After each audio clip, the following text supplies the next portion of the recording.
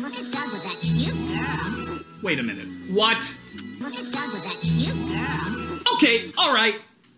I can believe the boy's getting excited for the dance. I can believe the mayor not using her powers at all to prove an earth shattering discovery. I can believe high schoolers can build a giant robot and a shrinking ray and have none of that get any media attention. But If you expect me to believe that any high school girl, high school girl, mind you, will look at this deformed demon, think he's a female student, and actually verbally acknowledge that she's cute? You are on earth! Will call this baby show genocide cute? You are fired from Playman. Please, pack up your desk and kindly leave.